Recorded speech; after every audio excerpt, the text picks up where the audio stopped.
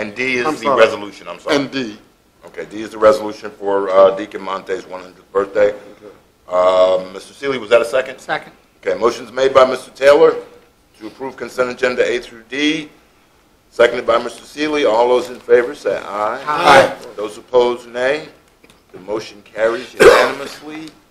Uh, May we possibly, Mrs. Carter's here, and I think she's interested in agenda item number seven, which is the assessment.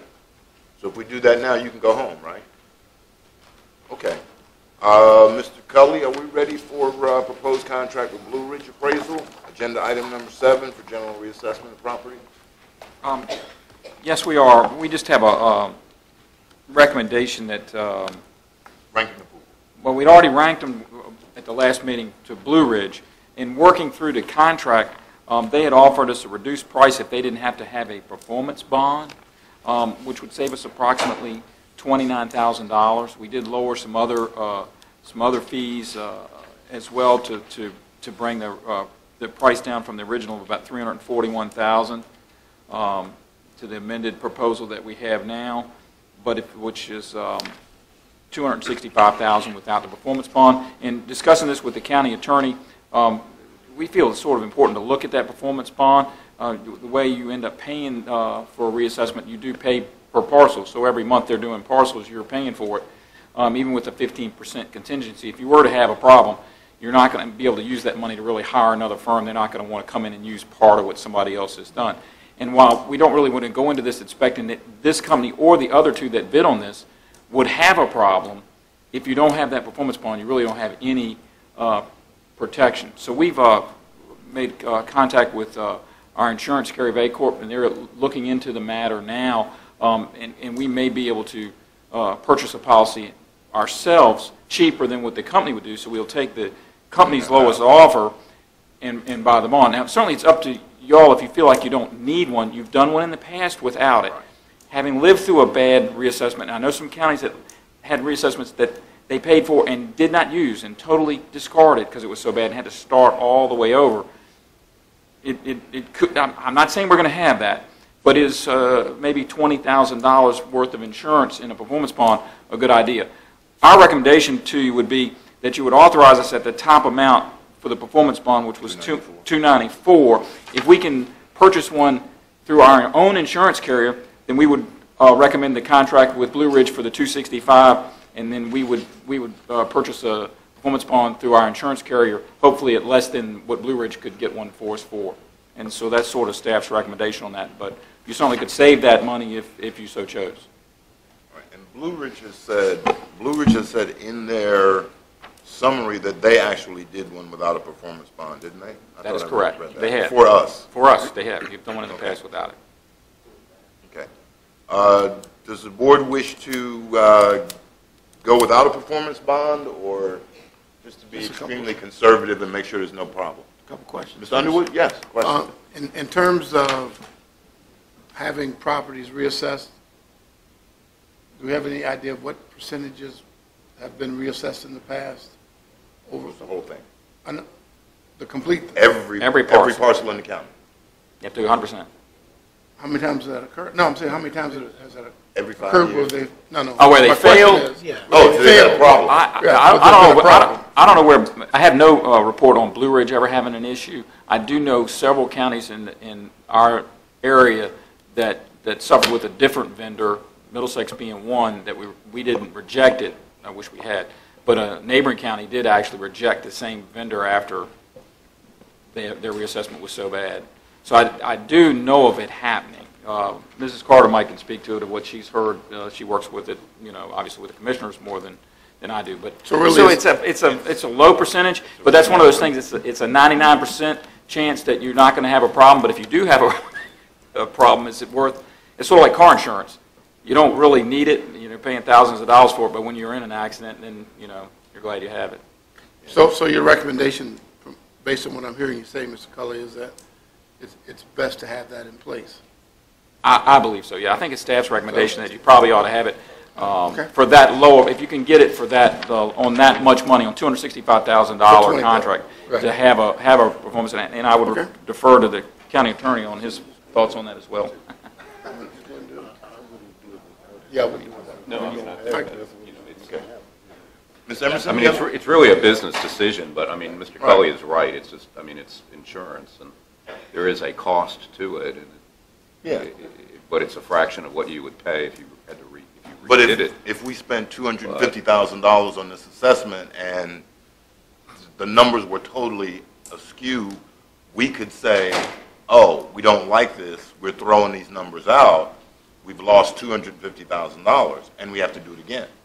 Right, and you might have a claim for damages against the defaulting company, assuming, And they've been our, they've been our assessor for at least twenty years, right? Close to twenty years?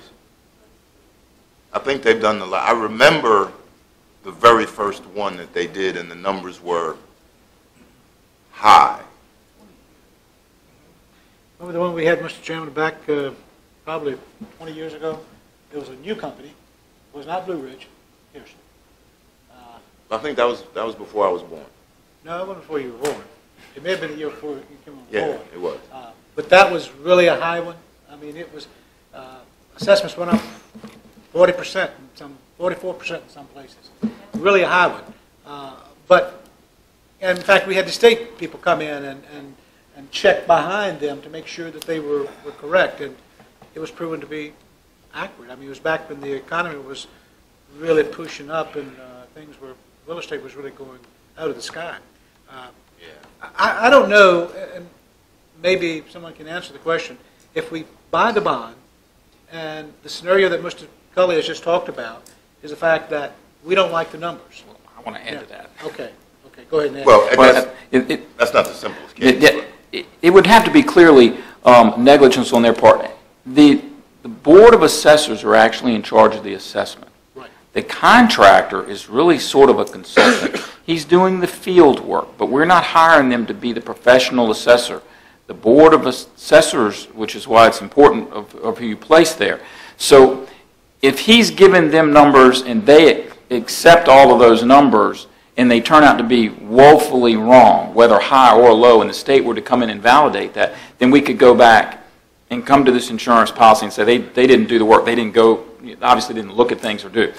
If he were to give them numbers and the assessor, Board of Assessors starts changing all that stuff to what they want, we will not be able to go back against the contractor because Yeah. technically the Board of Assessors has changed it. So it- it. They have the it- last choice, They have the the last call, I last, guess. last, last call on that. Um, and so that may also, also play into it that we're, we're at a risk either way.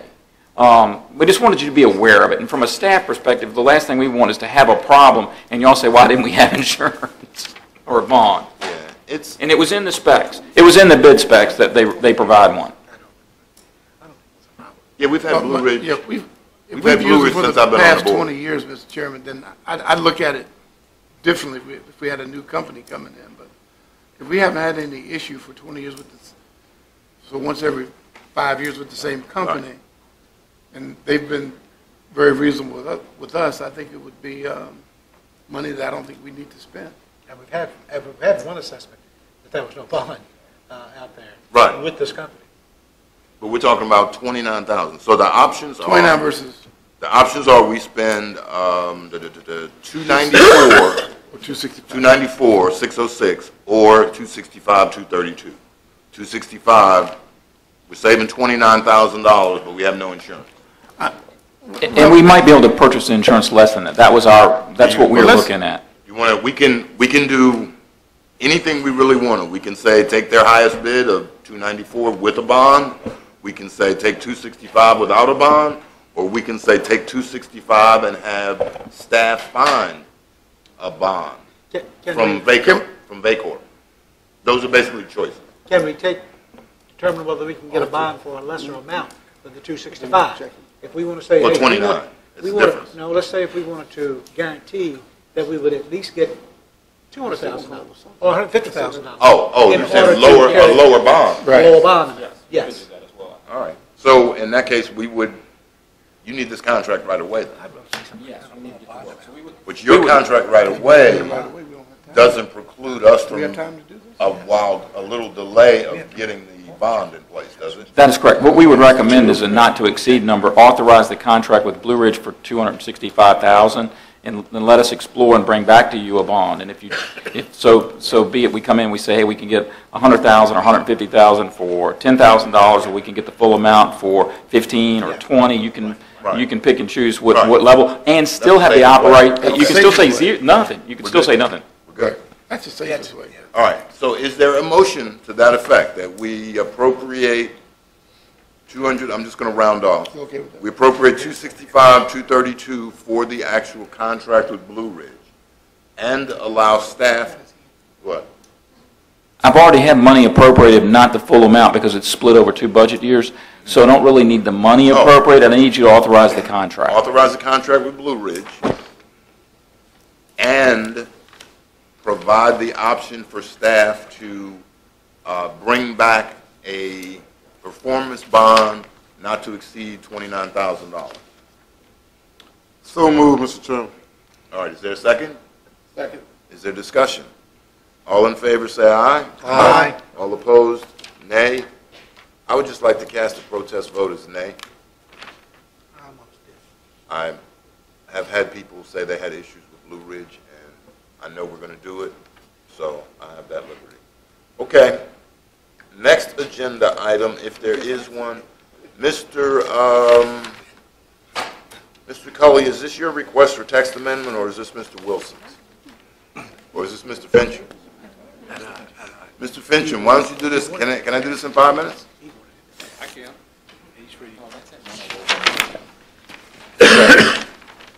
Where we at? Mr. Fincham has agenda item number six.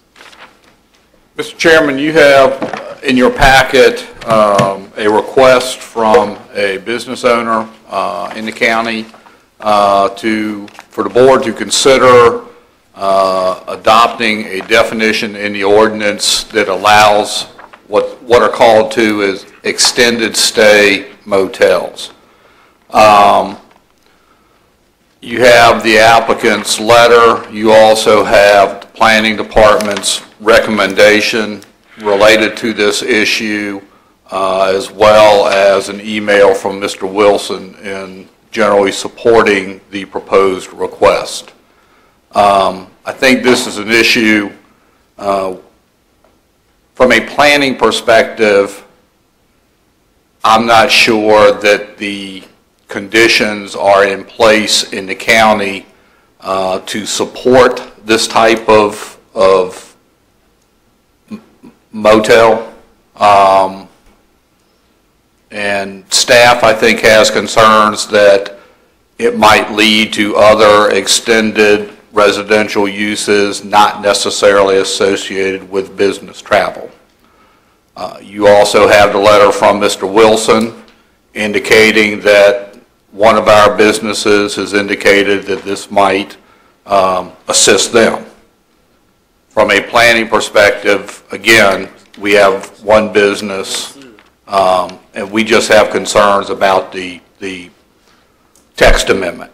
However, if the board does want to go forward with this, then we would recommend that this be uh, in the form of a special exception permit in the B1 um, district that would allow the board to impose conditions, uh, create standards related to those uses, uh, and to go through a public hearing process uh, on this type of, of application.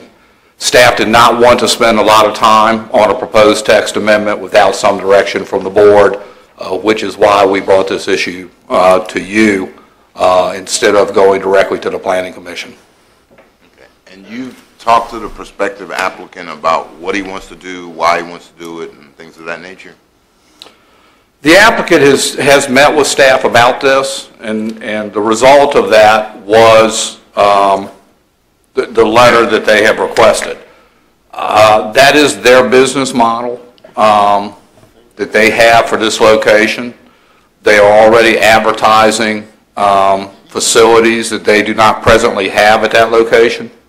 Um, And in fact, we... Say that again? They're advertising facilities that they don't have at that application. At that, yes, sir. Kitchens, False advertising. Incorrect advertising. yes, sir. Misleading advertising, okay.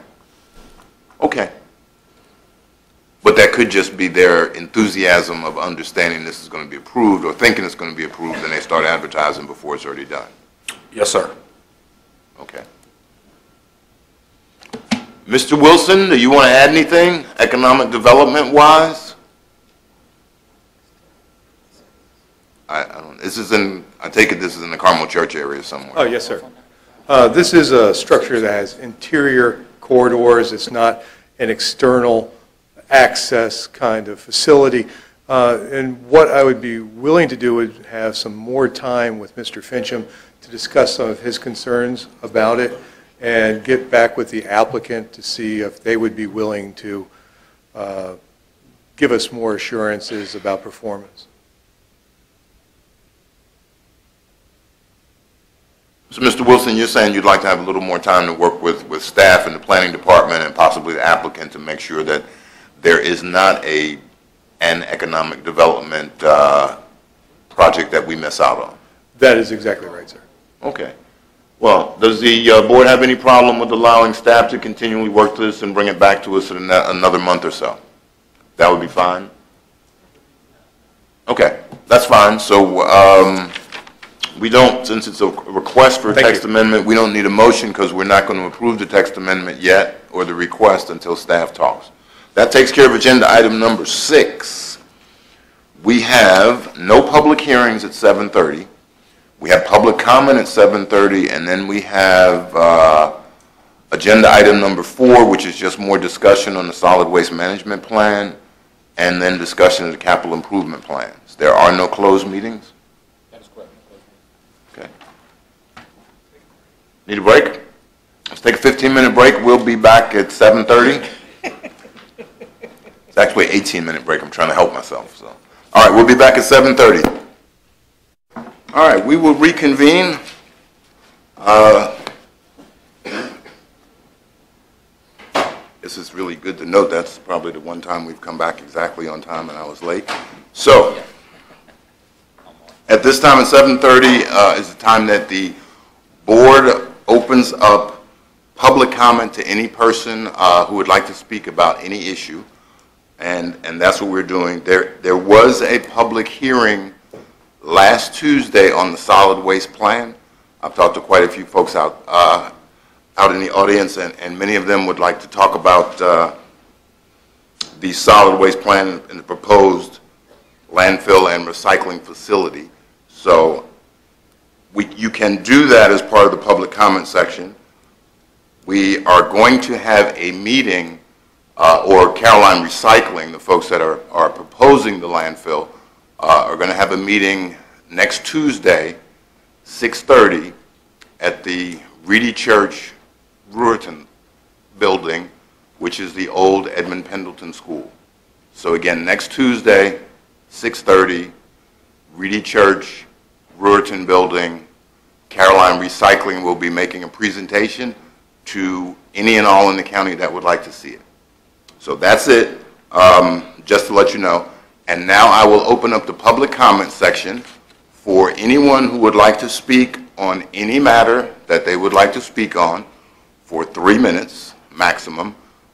When, uh, when I hit the gavel, you can come to the podium, state your name and your voting district, and then your three minutes will begin. So the public comment section will be declared open.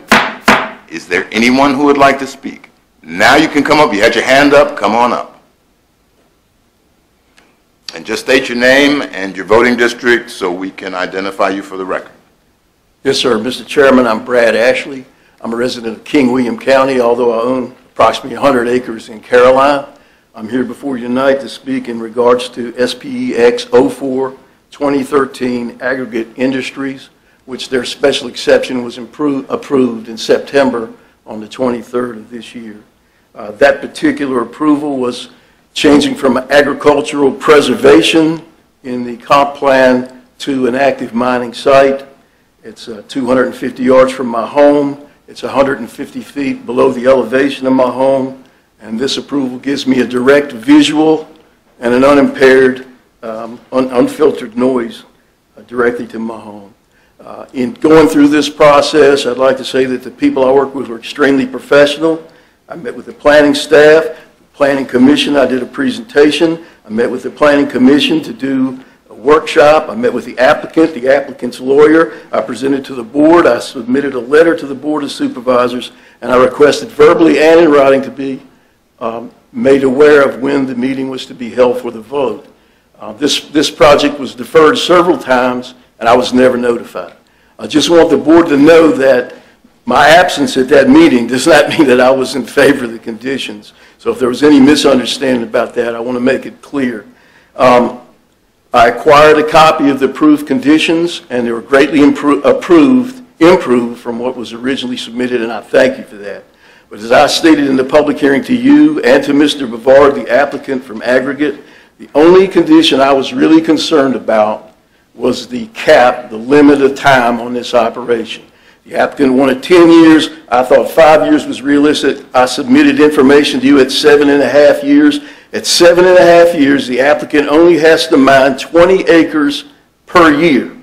So that's, that's where that would be. And what we have is a standard five-year review process. And my request for you tonight is in 2019, if I'm able to come here, I will be here to present to you, to review what Aggregates has done and where they're going, and to get a specific ending point to this project.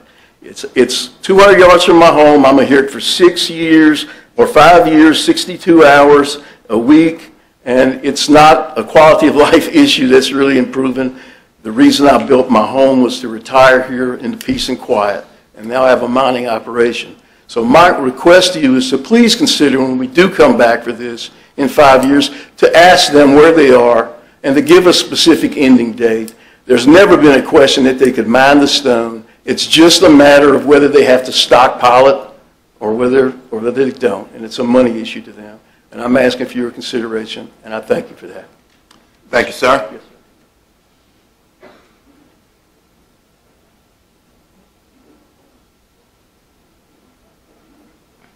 Is there anyone else who would like to speak as pub- public comment? My name is Larry Parks. Okay, Um, Larry, wait till you Yeah, get to my the name's mic. Larry Parks. I had to ask uh, which one of y'all was my supervisor, tell you what district I'm in. You're on You. Sunshine Thompson. Road? Huh? You're on Sunshine Road, too? I'm on uh, Burris Lane. I'm right backed up to this landfill. That would be me. Uh, yeah. And I didn't find out about this, uh, really start looking into it until yesterday. Uh, I'm concerned about, I was reading through and I see that there's uh, uh, mechanisms to handle light, but I'm concerned about noise, I'm concerned about smell, I'm concerned about what this is going to do to my property value, but mostly I'm concerned about the water. Uh, The aquifer that flows right under that is where my well's at. And uh, anything that sinks into the ground with this uh, disposal site is what I'm going to suck back up in my well. And uh, that's a concern. Um, But I'm, I didn't see anything listed that talked about that. I see we're talking about light. But uh, what are the hours of operation? And I went on to the Virginia site to see what was required in terms of uh, deep water, deep well mining or management, and saw that there's uh, action for anybody that's in violation, but doesn't say what happens to the property owners around that have got contaminated wells. And it's just a matter of if landfills are going to have stuff in the water. Okay. That's all I, have. thank you. And, and again, you heard, heard me say that they're, they are going to have a community meeting next Tuesday Right. at, at 6:30 at the. Reed Church, No. Riverton. So I'd, I'd love it if you could make it. Thank you, sir. Is there anyone else who would like to speak?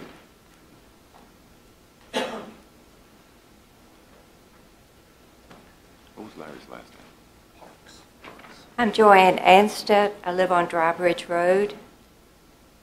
The, um, I just found out about this, but uh, I do- would appreciate your listening to, uh, there was an accident in front of our house on Sunday, and someone was just driving carelessly and broke the culvert pipe out in front of our driveway, which is going to be a county expense. I don't think if anyone has ridden over on Dry Bridge Road, you see how curvy it is. And we already have so many lumber trucks coming back and forth. It's going to be very dangerous, and the, the roads just can't handle it.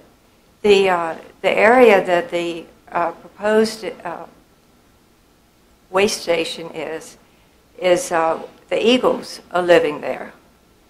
And you see them flying over there all the time, and it would be very, very sad.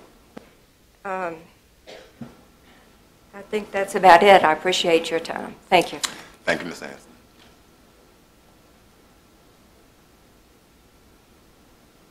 Yes, ma'am. Hi, my name is Elena Smith, and I am from the Western Caroline District. I first want to apologize for my attire. Um, We've heard here after Looks fine. practice. So, um, last month, I was in the treasurer's office paying some taxes, and I noticed there were some late filing fees on my bill. And I notice every year I get that form, I turn it in and mail it. Um, So I asked him about it. Before the lady even had a chance to speak, about seven, eight other people in line, everybody that was in there at the time, spoke up and answered the question before I even had a chance. Did you buy a new vehicle this year? And went on to tell me that if you bought a new vehicle, you were supposed to report it. Every other county I've lived in, I've never had that happen. In North Carolina and up here, I spoke with my mother who lives in Orange, friends that live in Spotsylvania, and they get these, they get information from the DMV. So I'm not sure why there's, you know, I mean, duplication of effort and double work, and why we have to report that, and why we would be getting charged 10% late filing fees on this, just after, you know, I guess it's 60 days or 90 days, I can't remember exactly, if you don't know about. 60. Is 60? So my request is that you guys look at this law and think about it. It's very, um, I mean, nobody reads the back of the forms and the fine print. It's how many bills and stuff do you get in the mail and pages and pages of small text. And nobody, there's just too much time and nobody does it, unfortunately. So it was a surprise. I was very upset.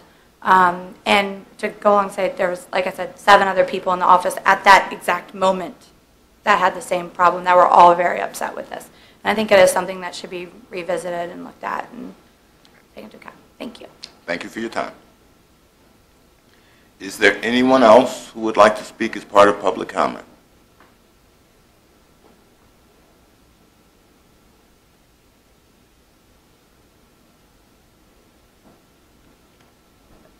Mr. Chairman, gentlemen, I'm Catherine Burris, and I'm from the Mattaponi uh, voting district, and I'm here tonight to speak to the issue of the ordinance concerning the landfill.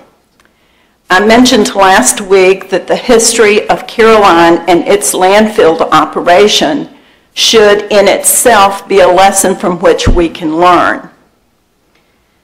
The proposed site of this landfill that has not yet been approved is within the Reedy Church, um, the Reedy Creek uh, drain area.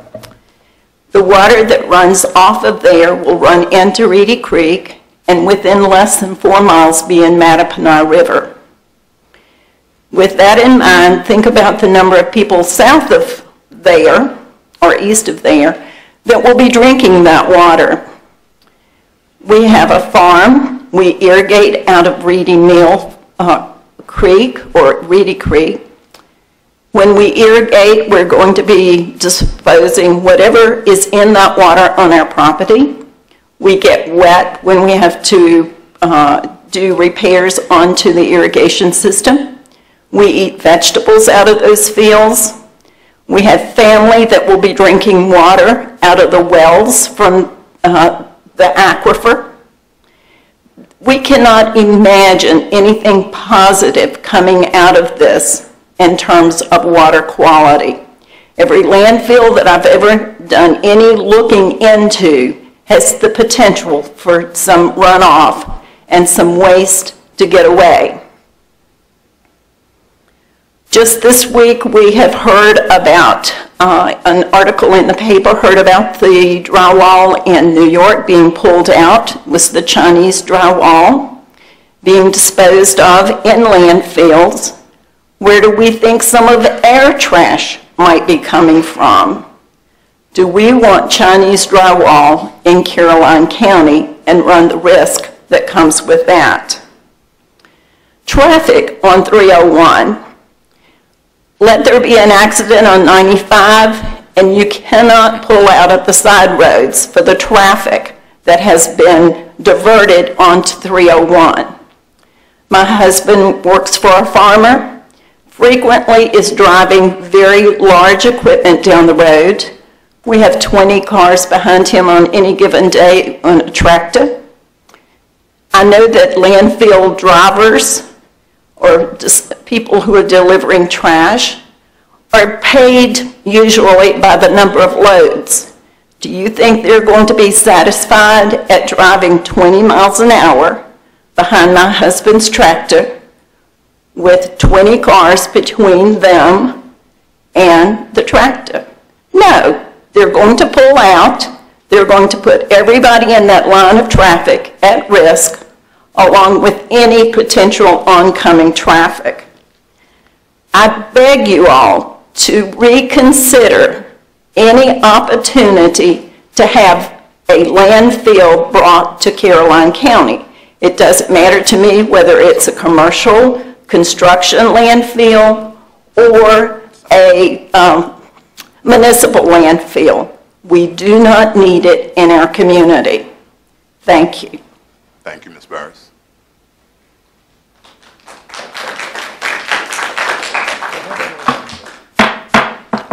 Uh, folks, I'm just supposed to remind you that applause is not allowed, because if we allow applause, then we have to allow booing, so please refrain from applause. Thank you very much.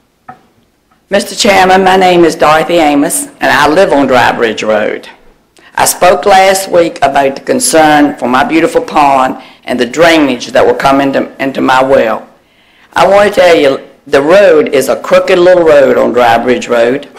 Last Thursday morning, coming from my job, I met a log truck. He put me in the ditch, right in there by my little pond. I have two ponds, a little pond and a big pond that we built. I do not know with trucks coming off of 301, 95, or whatever direction they're coming, how I'm going to be able to get my car out on that road and go to 301 to go to my job. So I'm begging you. And so I hear some supervisors and other people say, oh, it's not bad, it's a state-of-the-art dump. A dump is a dump. Wood stinks if you pile it up. Trash stinks if you pile it up. Anything that's dumped over a period of time is going to stink. And I dread going out of my yard and smelling that odor. I'm begging you, please think before you vote for this thing to come to Caroline. And think, do I want to live, would I like to be in her house, living and smelling that, and having to put up with all those trucks? Thank you. Thank you, Ms. Amos.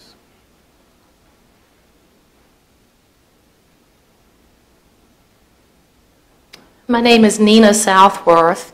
I live in the Mattaponi district.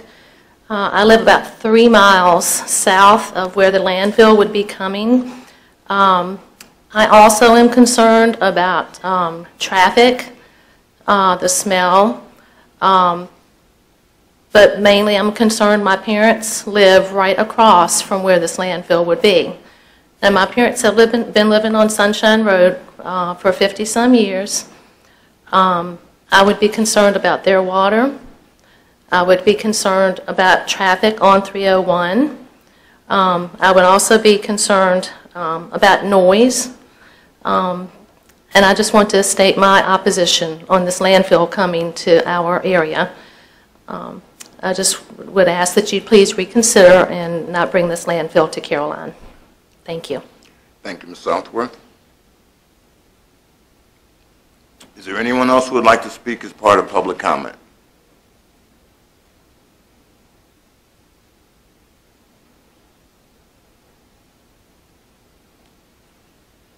Yes, my name is James Baker. I live in the Mattaponi district. I have the uh, same concerns about the landfill that have been spoken, uh, property values, the water issues, what it would do to the water. Uh, main, biggest thing with me is the traffic on 301. I live on 301 now, and as she stated, if there's a problem on 95, there's a lot of days I'm trying to get out of my driveway. And I travel on 301 to and from work, and there's limited passing lanes, and I just think with trucks maybe not being able to go as fast, there are people taking chances trying to get by because everyone's in a hurry. And I think it would pose a risk to, to all those on 301. Thank you. Thank you, Mr. Baker. Is there anyone else who would like to speak as part of public comment?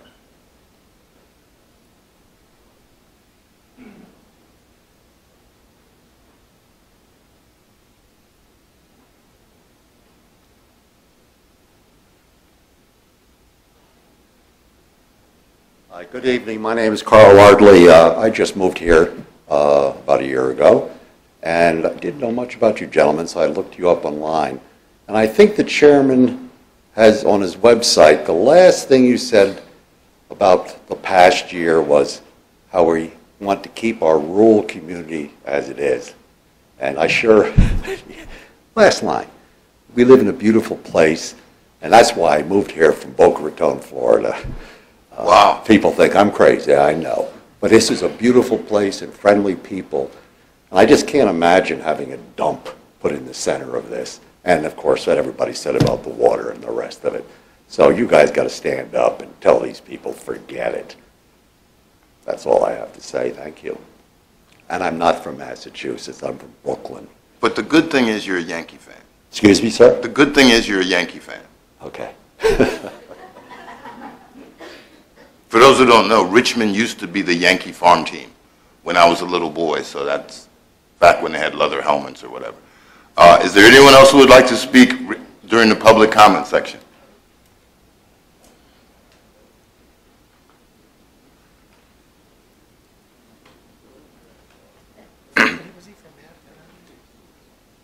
Yes. I'm Myrna Satterwhite. Satterwhite. I live in the Mattaponi District. I have lived on Sunshine Road for 58 years. My husband has lived there for 80 years. And this is something that we think that Caroline County does not need. Besides the air pollution, the, the water pollution, it's, it's just too hard to imagine. And I hope you all will consider how, how detrimental it'll be to Caroline County to bring such a thing in this county. Thank you. Thank you, Ms. Satterwhite.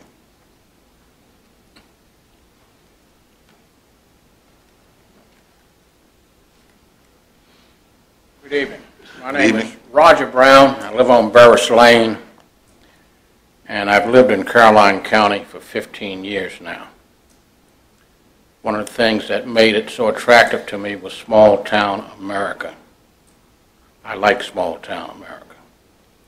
I'm a transplant from Washington D.C. metropolitan area, and if you're familiar with that area, there's a place called Blue Plains. Crap House Taj Mahal. And if you've been there on a hot August summer day, the stench is stifling. I don't want that here in Caroline County. Thank you. Thank you, Mr. Brown. Is there anyone else who would like to speak as part of public comment?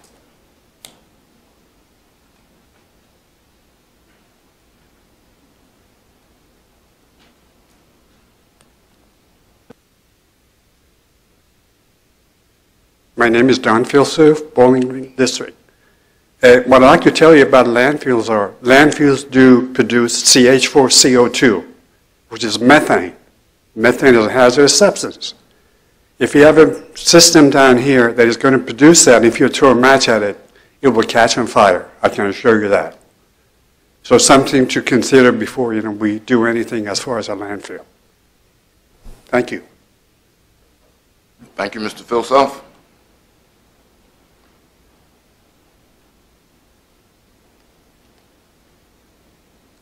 Good evening, I'm Felicia Smithers, and I live in Reedy Church District. Good evening. Um, I'm just becoming aware of this landfill issue, and I'm not really used to speaking on things that I haven't researched for myself, but just from listening to the other comments, I'm concerned as to whether this is a choice that's already been made to have the landfill in the county, and it's just a, an option of where to put it, or if there's still a decision to be made on whether it's going to be done. Because sometimes there's a, a lot of discussion, quote, discussion around an issue, but the actual decision has already been made. So if this decision has not been made, then I would encourage you to research it further. And if it has been made, I'd ask you not to um, cherry pick where it's going to go. Nobody is going to want this in their district. So if you choose to put it in Mattaponi, people are going to have a problem with it. If you choose Reedy Church, people are going to have a problem with it. If you choose Bowling Green, people are going to have a problem with it. I just ask that y'all are upfront, honest about what's going on. And if the decision has been made and it's just a choice of location, then let us know that so then we can decide how, as a public, we want to confront this issue going forward. Thank you. Thank you, Ms. Smithers. Is there anyone else who would like to speak during public comment? Anyone else who would like to speak during public comment? Now, you can talk to me anytime. Yes, sir. Mr. Chairman, this, this is a little off subject for everybody else, but Major Mosier, go right ahead. uh, Scott Mosier from Caroline, uh, Bowling Green District. Uh, The reason I've came tonight is that the board has struggled through some financial times, and I know decisions are very difficult for you to make during the budget year. So you have asked for some information about our fleet, the vehicle cars that we have, and how many cars are over certain miles and, and the years of the cars and how old they are. Currently, under county policy, it's four years or 120,000 miles. Uh, We have 28 vehicles with over 100,000 miles and 17 of them over 120,000 miles. And we're projected to have our vehicles for a period of about eight years. I have all those numbers and statistics here for the board so that they can be informed on their decision-making when it comes to budgets. We know there's no money available, but it's nice for you to have the information available, so when you're making those decisions. Okay? Thank you, Uh, Major I'll give Moser. them to Alan, so he can get them to you guys later, if you don't mind. That'd be great. I, I thought the sheriff sent us that via email. Um, The sheriff's, okay, the sheriff sent the email to, Oh, you have an email form? that's fine. He asked me to bring the uh, actual papers for tonight. night. Anything in red is over 120, anything in orange is over 100. So it's, Well, four four of them are over 150, so, but it's good to have an assessment of what we have and Right. to look towards the future. And as far as landfill, you know, we don't have enough information yet, but, you know, obviously, we'll be considering our opinion on the traffic for that as well, and the trucks on those roads, for public safety reasons. So hopefully, we'll make it to the meeting and some- get some more information at Reedy Church. You, Club. Thank you, sir. Thank you, Major Motion. Uh, Is there anyone else who would like to speak as part of public comment? Anyone else who would like to speak as part of public comment? Anyone else who would like to speak? We're declaring public comment closed, um, and, and trust me, we understand your concerns, all those who spoke about the landfill. Uh, Again, I believe there was a meeting in Mr. Underwood's district a couple of weeks ago, um, small informational meeting to start. Uh, The meeting at the Reedy Church Ruritan we're going to have next week is going to be an informational meeting. Uh, This proposal has been before the board for quite some time uh, via the applicant. He has talked to the board for quite some time. Um, With regard to Ms. Smithers' comments, which are excellent, we have not made a commitment to have a landfill. We have not made a commitment um, on, on any situation there. What we have done is we've looked at uh, what would be a host agreement, what the county would get, what they could take, what they couldn't take, and this is a process. As I told the folks when I was in the back of the uh, audience, we are going to take as much information as we can. We're going to have as many meetings as we can. And we are going to make sure all the citizens are, are informed and at least understand what's going on so that they can help us make this decision. And I'm sure the reason you're here tonight is because you would like to help us make this decision. And whatever way you feel about it, that's why you're here, and we do appreciate that. This is going to be a process.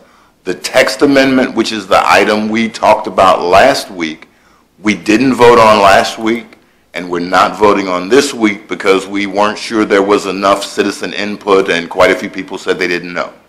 With that, we won't vote on it until January sometime, maybe not even then. But the reality is, that's only a text amendment. Then there has to be a proposal that goes through the planning commission and then comes back to the board of supervisors for us to actually vote on. The text